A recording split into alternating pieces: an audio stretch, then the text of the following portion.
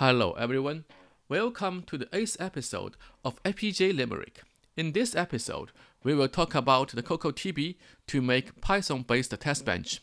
As usual, the script of this episode has already been posted online at fpga.pulserain.com. fpga.pulserain.com, this is our companion blog. And to show why we choose cocotb for verification, let's visit other possible options for verification. The first one is the old-fashioned way, where um, people use either Verilog or VHDL to make both design and verification. And as of today, a lot of companies still do things like this. However, as the Verilog or VHDL lacks the feature offered by high-level programming language, this method becomes very inflexible, verbose, and unproductive. So uh, now comes the, the second method where um, the test bench is done by um, a dedicated HVL language, such as Vera E, or maybe even maybe Tcl. So this is better, um, as those HVL has better um, capabilities for verification. But as things progress, it is now replaced replaced by a system Verilog with a unified HVL HDL approach. And for this, the H system um, this um, approach with system Verilog, it also offers um, like assertion-based verification, ABV.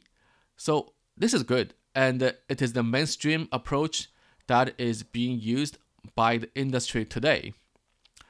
Although System, System Verilog did a good job introducing high-level programming language features such as um, object-oriented syntax, it is still considered too verbose and low level comparing to newer programming languages like Python. Thus comes um, the cocotb, and our bet is on cocotb for the near future because we found that um, cocotb is more convenient um, and easier to use than the system Verilog when it comes to verification. So let's take a look. CocoTB stands for Coroutine Co-simulation Test Bench. It is a Python-based verification framework, and practically it can be a good supplement to Spinal HDL. As shown in this di diagram, the cocotb runs Python over VPI or FL interface to communicate with the simulate and exercise the DUT. If the DUT is written in Verilog, the VPI interface is used. Here VPI stands for a Verilog Procedure Interface. If the DUT is written in VHDL, FLI interface is used. FLI stands for um, Foreign Language Interface, which is a standard developed by Mentor Graphics. So if you use um, VHDL to uh, run things uh, for, uh, in the cocotb, probably uh, and if you you need uh, probably you need uh, Questa sim or model sim as a simulate because um, those are the simulate offered by Mentor Graphics. I could be wrong. Could probably other um, simulator they they might use something called um, VHPI something. Uh, I forgot, but yeah, for it, it's, it's I think it's um, FAI. Okay, let's take a look and how we set up the, uh, the cocotb. Um, we use uh, the platform we use will be um, WSL, which is Windows Subsystems for Linux. I think at the end of um, episode three, the part to sub, uh, set up the WSL has already been introduced. I think um, if we take a look in at the end of episode three, where we say um, set up for Linux, and here's the here is uh, the instructions, and you can also look at um, episode three on YouTube. But basically, what it means is I think we use Ubuntu 20.04 as um, our Linux distro, uh, and also the we will run a script called wsl underscore setup.sh.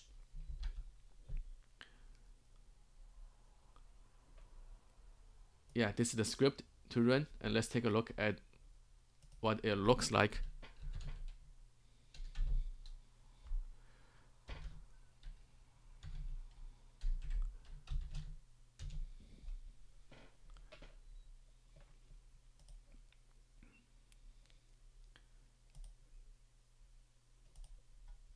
So this script will install all the necessary um, packages and uh, um, in Ubuntu 20.04 and, and at the end of it, it will try to install two simulators. One is the Verilator, the other is the, the Questa. And those are the simulators we will use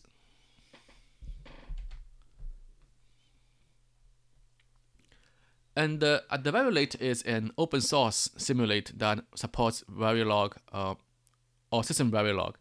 It will convert the VHDL or it will convert the Verilog or System Verilog into C++ code and then compile the C++ using GCC, which is kind of similar to um, to the Synopsys VC, VCS.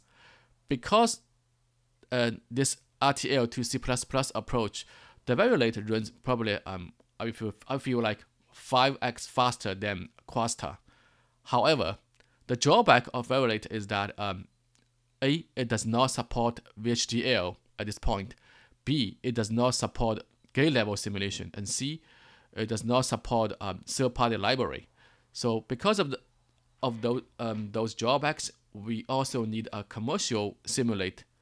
Um, if third-party IPs such as um, DDR controller uh, are involved, Fortunately, we can get a poor man's um, version of Questa Sim from Intel website. You can see at the, um, the script that we're using at the end of it, we download something from Intel um, to get this Questa, to get this um, poor man's version of Questa. And to use this version of Questa, we also need to apply um, for a fixed seat license. That is, I think it's free. Um, but you can get the license from Intel Self-Service License Center. I think the link is you can find the link um, on our companion blog. Let's see. So uh, on our companion blog, you can find the, the Intel li Self-Service License Center here. From here, I think you can apply for um, fixed seat license. However, here's the catch. Because we use um, uh, WSL, and when you apply for license, usually you say, okay, you, the, the license is tied to a MAC address. But for WSL, the MAC address changes every time it reboots. I think they did this for um, security reasons. Uh, so fortunately, we can fix this by setting up a dummy MAC address to match the one used uh, by the license file uh, in WSL. So when, we, when you apply for the license, you, you provide a MAC address, and then if that address changes, you, you can you can fix it by running this script. Basically, what it does is it just uh, um, you can you need to change the address to match whatever you used in, your license file and this will create a dummy MAC address. So, so in that case, you can still load up the, the license to match this MAC address. And I think at the end of it, when you uh, finish the installation of the Questa Sim, you also need to set up an environment um, variable called, uh, I think called lm um, lm underscore license underscore file. You, you can look at the instructions from from Intel when you install the um uh, the Questa. Okay, so that is for some logistic issues. Now let's take a look, see um, how we run the cocotb, and uh, don't worry about uh, the details because we're gonna discuss all the details in the next episode. okay see let's see how we can run this. Basically uh we do something different. Um, traditionally if you run cocotb you probably will need a make file. That's what they recommend on the official website. But I think um, for us we choose a different approach. We will use um, cocotb test um, and on top of um, tox which is a virtual environment. And we will get into details on, in next episode. But let's just see how we run it. Okay. Uh, let's uh, check out.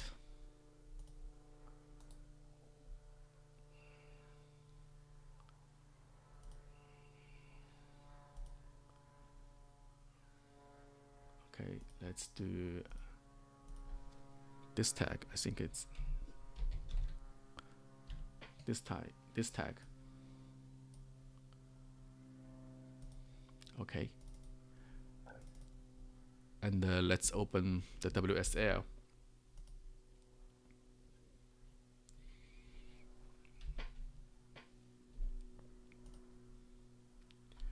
okay let's do it. WSL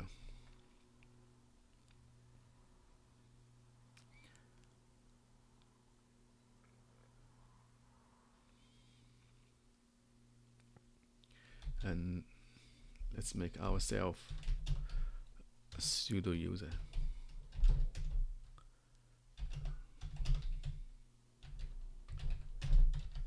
Okay so here's the um, the repo. We just checked out. Let's go to hello world. Test. Tb okay now there are uh, two as I said we support um, two different kind of um, simulator. Let's see Verilator first. Um, all you have to do is just type in TOX. I think the, first time it make it might uh, take uh, a while because it will try to download all the packages um, from internet and cr create um, the virtual environment. But next time it runs, it, it will be a lot faster. See, the package we are downloading is um, test, which we use um, to replace the makefile, and also other things um, like numpy for um, for number crunching, and the coverage which we will discuss later.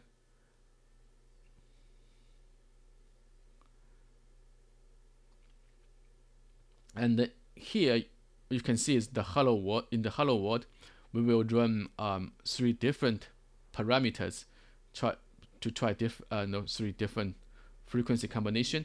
And also we each time we will regenerate um, the Verilog based on the um, the Spinal HDL but if you all your code is already in Verilog you don't have to do that. It's just a extra step if you use um, Spinal HDL to make sure it was generated with the correct parameters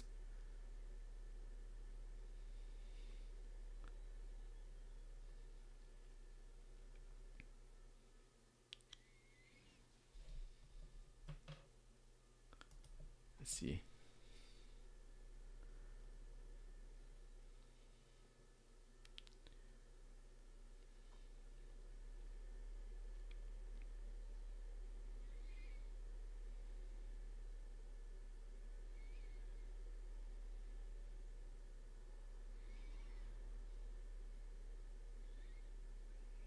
I think now it's installing the um, the packages and the test will start. So next time you don't have to go through this because um, all the packages will be saved in a local folder called .tox and next time it will already be downloaded.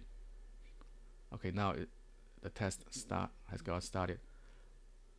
See generating regenerating um, the Verilog using SBT. Then it starts to run Oh, or start to co uh, compile actually. Uh, you need to compile the um, the Verilog and starts the simulate.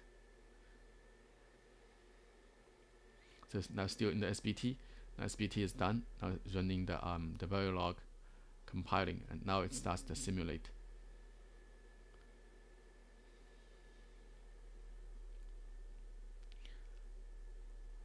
Okay, that's good. Now it passed. And now it try a second um, param set of parameters.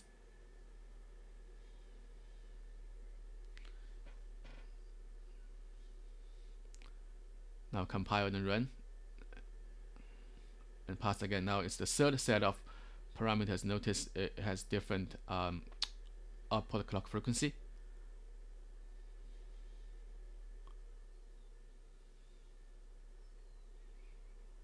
Now it's all passed and it's done. So um, that this is for Verilator and the same thing for Questa. You can run that. But if you have trouble getting a license, as I said, you need to and I think go to script and look at the dummy address. Maybe you need to change that and join it so you can set up the address to match your license file. And I think also let's look at, I think in probably you also need to set up um, an environment for let's see um, for test for if you're running Questa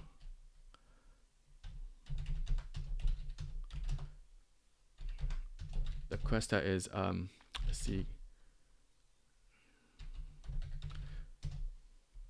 here you see this LM license file. This is taken from the environment, so you you might need to point this one to um to the license file you, you got received from Intel. Or if you, your company environment you have already some commercial license, you can also should point this to your commercial license. And and the the tox the virtual environment will take that um, from your um, local environment and, and run it. So I think that's all only to show you just um, get a feel of how to run the cocotb and we will get into um, the details for how to write a test bench in the next episode. Okay, let's see if there's anything left. Okay, this is um, the functional simulation that uh, uh, that is used by actually general uh, it applies to both cocotb and the system Verilog. Um, basically, usually um, we need like a driver and a monitor. Driver gets the input and the monitor takes the output. And then there's something called a scoreboard, which is composed of a functional model and a checker. I think I already mentioned um, the this functional simulation in earlier episodes, but uh, we will get into this with details as well in in the next episode. See. Okay, I think that's all for today. Thank you so much for watching. If you think this is helpful to you, please uh, subscribe to our channel. Thank you so much for watching and bye bye.